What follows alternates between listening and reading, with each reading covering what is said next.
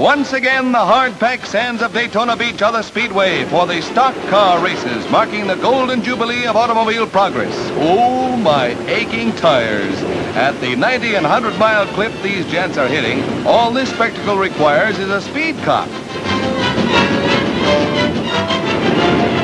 Only 12 of the 24 starting cars finished the punishing 100-mile race. 33 laps over the three-mile course with its hairpin turns. The prize money is 500 bucks, but there must be an easier way.